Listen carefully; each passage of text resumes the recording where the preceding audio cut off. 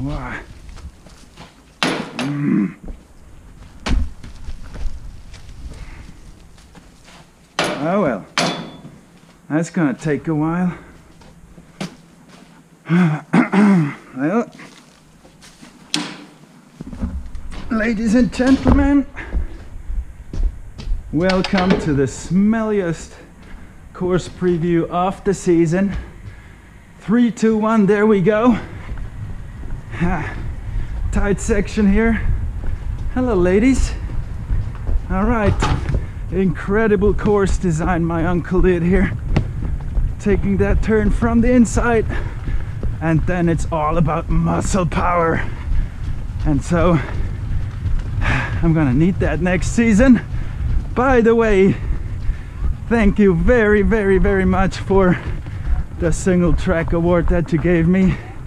Uh, I'm flattered and I actually don't know how I deserved it for just being a big mouth. Okay, I need to take a French line here. All right. Okay. Oh, wow. That's the first time I made it over that hole there. I'm still learning, you see. All right. Uh, what I wanted to say, I'm really sorry. I can't be with you tonight for that big party. Get under that fence. Ah! ah! My uncle actually told me there would be no power on this fence. But anyway, where was I? Yeah, really wanted to be there, but sorry I can't.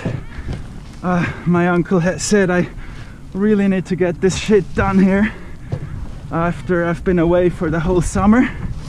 And Anyway, I don't think you would want me there the well the way I smell right now.